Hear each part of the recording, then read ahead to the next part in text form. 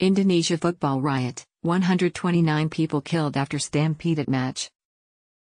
At least 129 people died and 180 were injured after violence and a stampede erupted following an Indonesian league football match, police have said.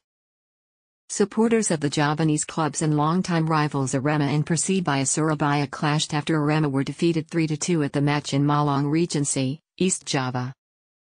Supporters from the losing side invaded the pitch and authorities fired tear gas, leading to a crowd stampede and cases of suffocation, said East Java's police chief, Nico Afinta. 34 people died in the Kanjuruhan Stadium and the rest while in hospital, and 180 were injured, he said. Two police officers were among the dead. Many people were crushed and suffocated when they ran to one exit, Afinta said. They went out to one point at the exit, then there was a buildup, in the process of accumulation, there was shortness of breath, lack of oxygen. A police spokesperson later put the death toll at 129 in one of the world's deadliest sporting stadium disasters. A hospital director told local TV that one victim was age 5. Indonesia's chief security minister, Mahfud MD, said the number of spectators exceeded the capacity of the Kanjuruhan Stadium. He said in an Instagram post on Sunday that 42,000 tickets had been issued for a stadium that had a capacity to hold 38,000 people. The head of the Malang Regency Health Office, Wianto Wijoyo, said earlier that officials were still collating the numbers of injured victims due to chaos, overcrowding, trampling and suffocation Wianto said, adding that the injured were referred to different local hospitals. Fighting reportedly started when the thousands of Arema fans rushed onto the field. Persebaya players immediately left it but several Arema players still on the field were also attacked.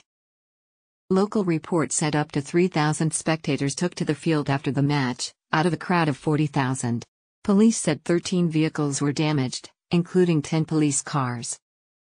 Images captured from inside the stadium during the stampede showed huge amounts of tear gas and people clambering over fences. People were carrying injured spectators through the chaos. Video footage circulating on social media showed people shouting obscenities at police, who were holding riot shields. Torched vehicles, including a police truck, littered the streets outside the stadium on Sunday morning. The Indonesian government apologized for the disaster and promised to investigate its circumstances.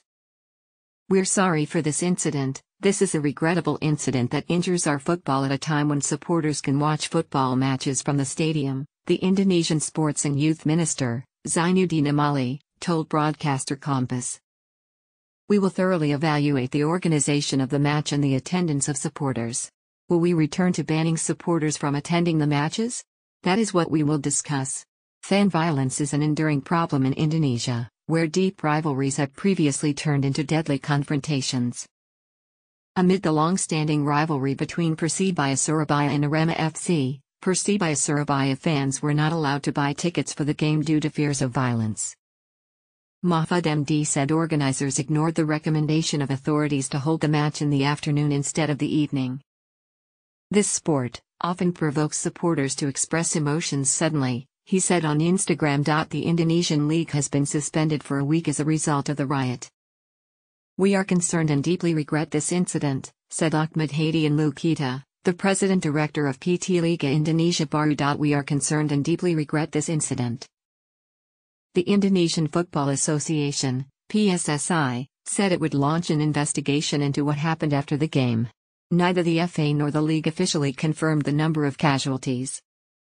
We announced the decision to suspend the league after we received a direction from the chairman of PSSI, Ahmad Hadian added. We announced the decision to suspend the league after we received a direction from the chairman of PSSI. Other stadium disasters include a 1989 crush in the stands at the UK's Hillsborough Stadium, which led to the deaths of 97 Liverpool fans, and the 2012 Port Said Stadium tragedy in Egypt where 74 people died in clashes. In 1964, 320 people were killed and more than 1,000 injured during a stampede at a Peru Argentina Olympic qualifier at Lima's National Stadium.